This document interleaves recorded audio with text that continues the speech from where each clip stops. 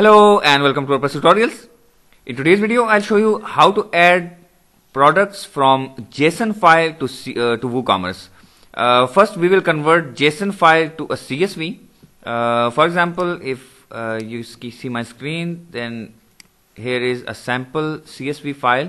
You can open it with uh, VS Code or you can just open it with plain Notepad, but I'll open it in uh, Dreamweaver.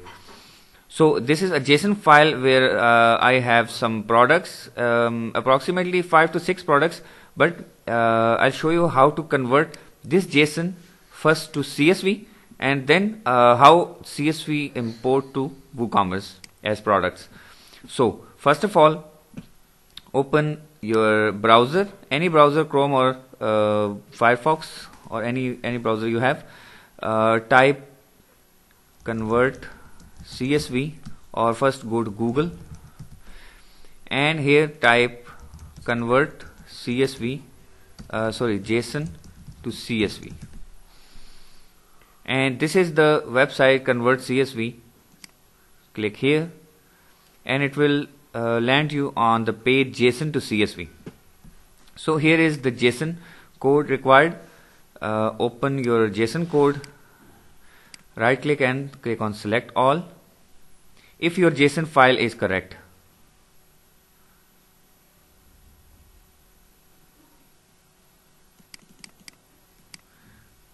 Copy and come to the website and paste the code here. After you paste the code, it will automatically refresh the page and will generate the CSV. You can scroll down uh, where you can see the CSV formatted. Now once the page is loaded scroll down. Here you can see a raw CSV and here you can see uh, a well defined CSV file where each column have its header and uh, its content. Now click on download result. And you will have a converted CSV in Excel file. So uh, I'm using Microsoft Excel to edit this. Uh, you can make any changes to this CSV or you can uh, upload this as it is. So I have these columns title category uh, I have three categories uh, images three images price description and specification I'll get uh, specification in short description description is long description price image category and title. So open your website where you want to import the files. Here is my website where I do not have any products yet. Uh, if you come to dashboard click on products. Then you can see there is no products yet. So we will click on start importing. Or you can uh, use another plugin. Sometimes the default WooCommerce importer is not working because of uh, the format. So we will use a plugin. Click on plugins click on add new. Scroll down to the search bar click on search bar and type WP all import and press enter. Uh, we will get uh, WP all import two extensions. One is the main extension WP all import plugin and the second one is for WooCommerce. So first one is import any XML or CSV file to WordPress. Click on install now here. And next uh, search for import CSV to WooCommerce. Import products from any XML or CSV to WooCommerce. Click on install now as well. This is uh, this will be used to import WooCommerce products from the CSV. So first of all, let's activate the main plugin and then activate the extension, the WooCommerce extension for uh, this WP all import. Once it's activated, scroll down and look for WP all import WooCommerce add-on. The main extension is now active. Then activate this. Uh, but please remember that you must uh, activate WooCommerce before you install WP all import. Otherwise, the WooCommerce add-on will not work. Now, scroll down and look for all import menu in the right uh, the left sidebar click on all import and click on new import now uh, save this CSV file uh, anywhere on your desktop or anywhere on your PC I'm saving it on my desktop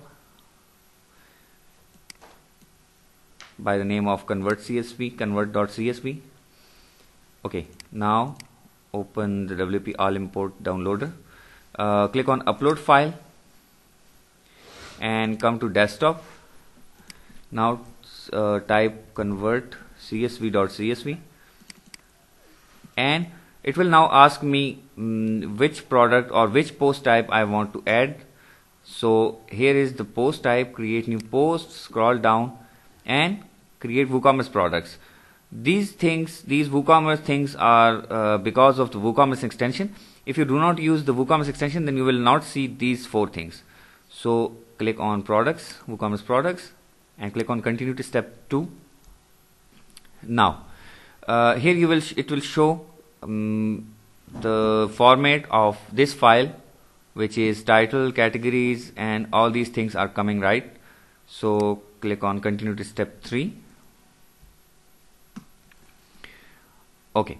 Now we have to uh, tell the WP all import plugin which field to go with which field of WooCommerce. So these are the CSV fields and these are the WooCommerce fields grab title to the title section and scroll down get description to the description section and specification to the short description. You can add specification to an attribute uh, but I'm just showing you that is why I'm using these general plugins these general uh, tabs these general fields. Okay now all other things are in WooCommerce uh, except the images and categories. We will uh, discuss it after uh, we add the WooCommerce price. Click on WooCommerce add-on and it's a simple product. SKU is uh, not available in our CSV that is why we will just grab the price into a regular price tab uh, or a regular price field. Okay. Now after the WooCommerce we will add images images are uh, in separate line or you can add them uh, comma separated which means you have to add one image then press enter and then second image then press enter and then third image or you can add them in the same line separated by comma. Now come to the advanced custom fields taxonomy and categories. Click on categories uh, and click on product categories.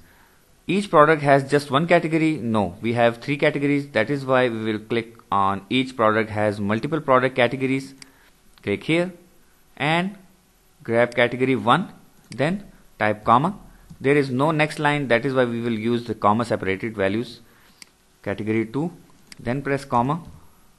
And we have category 3 finally. Okay. Uh, all we have in the CSV is now on our WooCommerce add-on. Uh, you can save this template to use this CSV again. If this type of CSV is coming uh, again for more products then you can use that template again. But I have just one. Uh, you can click on save template and name it CSV or any anything you want. And all these fields will be saved. Uh, next time you will select that template from this drop down uh, it, these fields are automatically adjusted in these uh, WooCommerce fields. Click on continue to step 4 in step 4 it will auto detect the unique identifier. We have title uh, as unique identifier. If we have SKU or ASIN then it will uh, detect that one. But in this case we have the title as unique identifier. So uh, you just have to click on auto detect and it will automatically get that title. Now uh, create new products from records newly present in your file it means that it will mm, add only those files only those products which are uh, not duplicated and not already there in your WooCommerce website. Delete products that are no longer present in a file uh, it means that uh, the the products that are um, not available in your file will be deleted from your WooCommerce uh, product directory which you do not want obviously but in some cases that is uh, an exception. Okay. This is the update existing products and uh, it will not create new products uh, and it will just add um, the update the old ones. Okay. Update all data means all fields will be updated if uh, you choose update existing files. Okay. Now uh, you have scheduling option which is uh, in premium version. Configure advanced settings mean uh, 20 records per iteration. Means one request will be sent for uh, 20 products to be added. You can reduce it to 5 products or 1 products depending on your server. If your server slows down then it will automatically um, reduce this number and ask you to continue further. Okay, split uh, split up files into 1000 records uh, which will um, reduce the load on your server. Okay uh, leave all these things empty and click on continue. Um, in the final step, it will confirm uh, your settings and it will show you all your all things you have selected. Click on confirm and run import and then wait for it. It will uh, take about two to three minutes to add these four to five products. But if you have more than uh, 100 or more than 1000 files, then uh, it will take longer than that but you have to wait uh, and do not close this browser until it's uh, done from 0 to 100% okay after 2 minutes it uh, says 7 records uh, from this file have been successfully added if I come to my product section and refresh the page then um, I can see 7 products are successfully added already with images and all these details the categories images and other things are added so uh, this was all for today's video. I hope you learned how to convert JSON file to CSV and then how to import CSV to WooCommerce. Please subscribe to my channel and press that bell notification so you get all my future videos notifications. Thank you.